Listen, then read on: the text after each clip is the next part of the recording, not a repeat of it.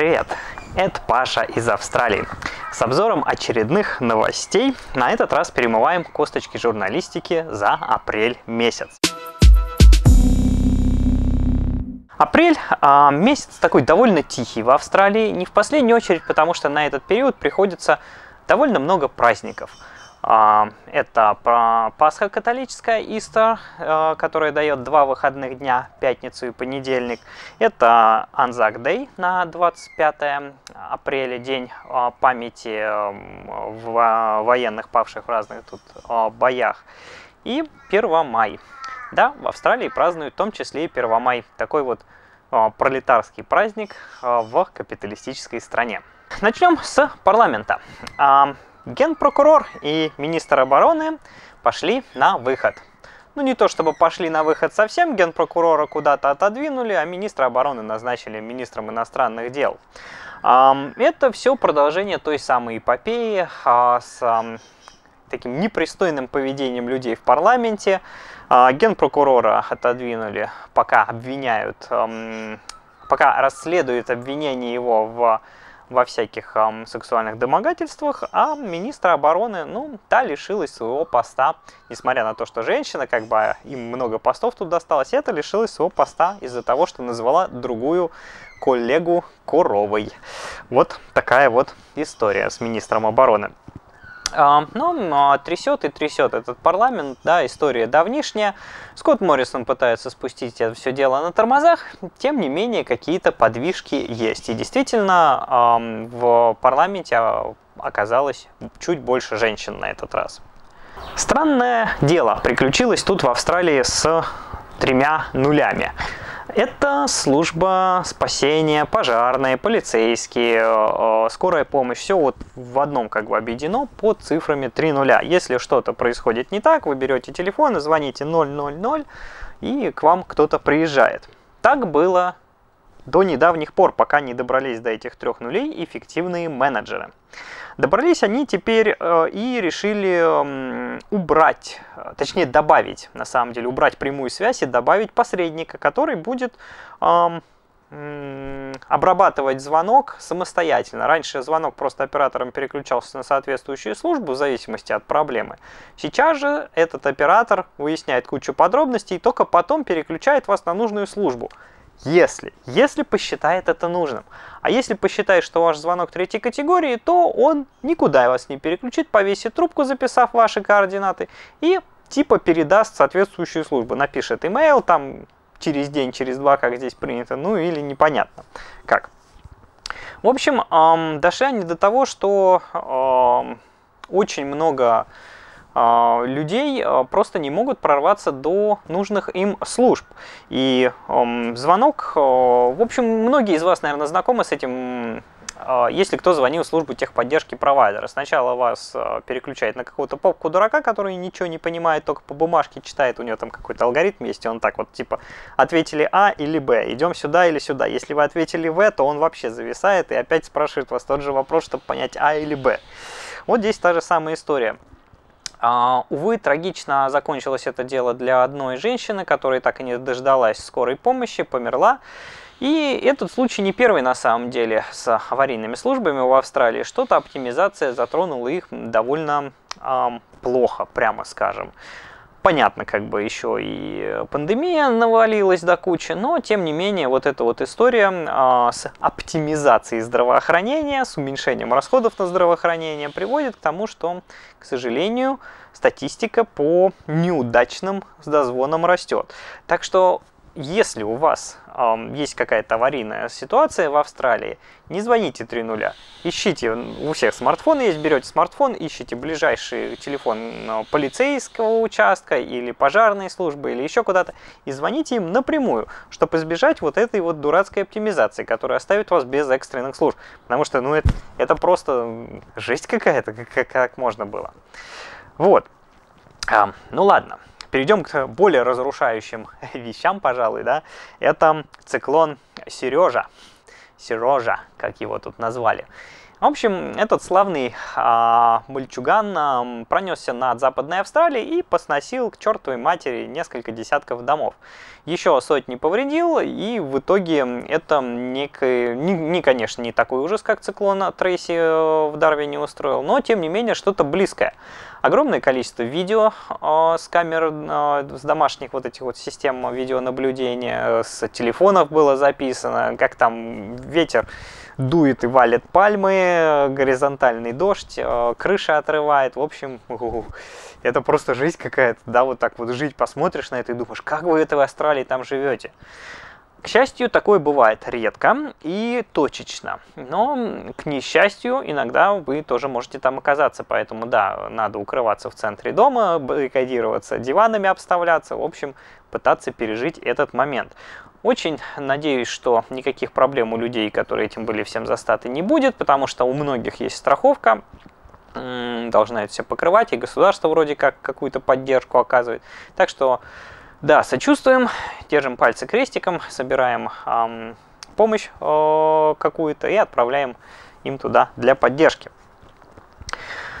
Э, из таких более глобальных новостей, да, э, потому что Австралия страна маленькая, деревня такая большая, особенно наш Брисбен, а здесь новостей особых нету. Переходим к чему-то глобальному, потому что, несмотря на отсутствие местных новостей, времени в сутках все еще 24 часа, и надо чем-то заполнять телевидение местного. AstraZeneca попала в опалу. Попала она в опалу э, после европейских проблем, а, в Австралии тоже какие-то э, несколько человек пострадали, по-моему, даже скончались от вот этих вот, как они применяют такой, знаете, особенный термин из местного новояза, да, rare blood clots, то есть не, не просто там от э, тромбоза померли, а от редкого тромбоза, да, то есть какой-то особенный вид, который очень редкий. Ну, да, понятно, что э, все, это, все эти прививки пока еще стадии испытаний проходят, э, не быстро это все делается. Э, нужны годы, чтобы накопить соответствующую статистику и тысячи привитых, сотни тысяч, миллионы. Но ну вот, э, к сожалению, у AstraZeneca оказались такие побочные эффекты и э, решили то ли чтобы как бы прививать, продолжать такое население, наиболее уязвимое старше 50 лет, то ли от того, что просто накупили много, а стариков не очень жалко, что ли, я не пойму. В общем, они решили эти вакцинирования продолжать, просто если вам меньше 50 лет, то вас, вам такую прививку не дадут. Естественно, тут же выпрыгнул Pfizer э, со своей э, бионтековской э, прививкой, и его начали еще больше продвигать. Тут же так удобно выяснилось, что не обязательно все время хранить там в криогенных температурах, можно чуть-чуть и в холодильнике, в морозилке подержать. В общем, как видите, так вот AstraZeneca европейскую пододвигают, и э, штатовский Pfizer к себе притаскивают. Непонятно, сколько здесь политики, сколько хитрого умысла, сколько корысти и сколько, в общем, реальной медицины. Это вот как бы такие понятия о которых сейчас много обсуждают, я в них поддаваться не буду, тем не менее, вот такой вот нюанс есть. В принципе, а, что-то как-то смотрю я вот эти новости в Австралии, и вот то, что в апреле э, настоящих новостей было мало, сразу видно, что журналисты пошли высасывать из пальца все это дело. Пошли по полной программе высасывать, и кто-то, видимо, решил заодно как бы и политическую карьеру, что ли, сделать. Или просто как-то перед начальством выслужиться, которое эту карьеру делает. В общем, какие-то новости прям, знаете, иной раз в одну лузу э, идут, что как-то вот явно прослеживается умысел, да у этих журналистов. Да, так что продажные журналюги, они везде есть, не только в России. В России они там просто поголовно как бы продались, а здесь пока еще есть идейные, но их тоже иногда подсиживают и другие более, как бы это сказать, меркантильные товарищи и коллеги. Ладно, а, еще из глобальных новостей. Полицейский душегуб из США, который задавил несчастного негра, он был судом присяжных признан виновным по куче статей. И, в общем, этому Дереку теперь грозит очень-очень много. Как бы понятно было, что дело политическое. У нас здесь за этим активно следили, потому что проблема вот этой расовой дискриминации в Австралии, она немножко такую специфическую тему приобрела. Здесь активно дискриминировали не негров, а даже вот этих вот коренных австралийцев, да, индидженос. Они были очень в опале, их одно время даже из-за людей не считали официально на уровне закона, их относили к животным. В общем, вот такая вот безобразие в Австралии происходило. И это все еще продолжается. Они в заключении точно так же гибнут в больших количествах по сравнению с, с белым населением. Частично это связано с их особенностями поведения, а частично с предвзятым отношением полиции к ним. Поэтому а, правозащитники очень активно вот эту тему несчастного Флойда поднимали в Австралии и за этим очень сильно следили. Опять же, как бы своих новостей такого масштаба нет, а в Америке большая буча, надо как бы показывать, смотреть, это же типа новостной контент. А, вот, а, что у нас еще есть а, из международных новостей? Очень активно целую неделю по всем новостям обсуждали неудавшуюся европейскую суперлигу. Причем как резко ее начали обсуждать, как резко она, идея обломалась, тут же резко ее перестали обсуждать. Не знаю, политическая мотивация это или просто новостей других не было, но почему-то за нее взялись прям так всерьез. А, спорт в Австралии, в принципе, любят, обсуждают очень много. Почему обсуждали так вот эту суперлигу, непонятно, потому что сокер здесь, ну, футбол обычный, он не такой популярный, как регби или австралийский футбол. Э, это тут гораздо больше все идет. Ну, вот, как бы новостной сюжет. А, ну и потихонечку а, переходим к а, таким а, близким русскоговорящим товарищам вещам, как КГБ. Да? Стремная немножко тема, а, обсуждать а, не принято ее было до недавних пор, а, говорили, за это убивают. И, собственно, чего здесь пошло? ABC выпустила огромную целую серию расследований на эту тему. Вспомнили и Маркова, знаменитого болгарского диссидента, которого убили в Лондоне, впрыснув яд при помощи зонтика. И всякие другие политические убийства. По Навальному там несколько было таких э, расследований довольно крупных.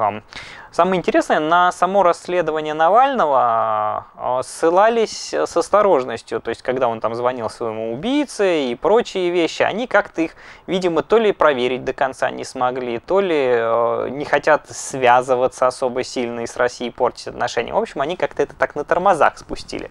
Очень много говорили конкретно про КГБ, то есть такой вот путинских приятелей, но типа старых, это все давно минувшие дни, Советский Союз развалился, мы не при делах, мы друзья, мы, мы не враги, да.